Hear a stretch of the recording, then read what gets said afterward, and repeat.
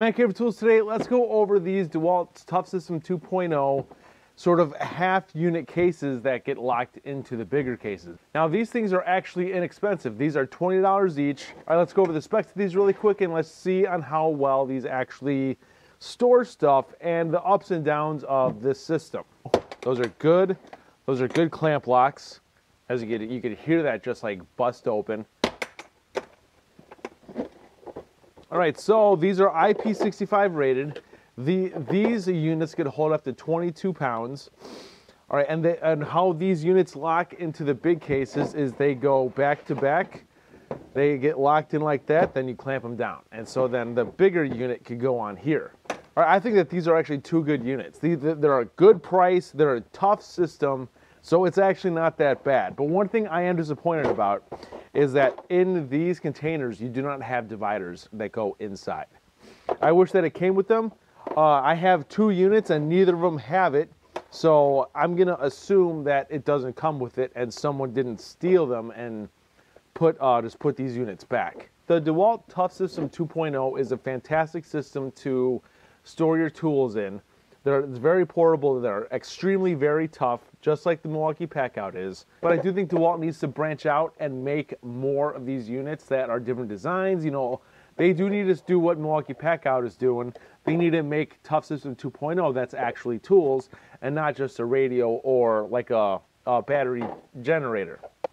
Let's do a test. Let's take that. It doesn't move that much. Barely. It doesn't move. It barely moves that much, so this is a tough system. And I'm using all my might on that. It is a very tough system.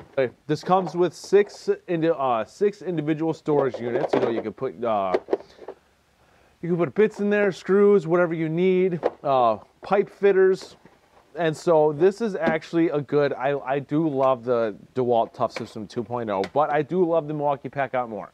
But these units are actually pretty inexpensive. And yes, the DeWalt Tough System 2.0 is cheaper than uh, Milwaukee Packout. I do love the black and yellow.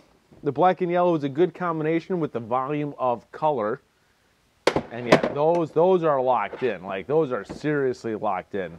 But if you guys were interested on purchasing these, if you guys see these at your Home Depot, I do suggest you get them even if you're not into the Tough System 2.0 uh, hardcore where you have the bigger units, getting this unit individually is actually still pretty good because these are actually pretty deep. These are deep little containers that you have in there.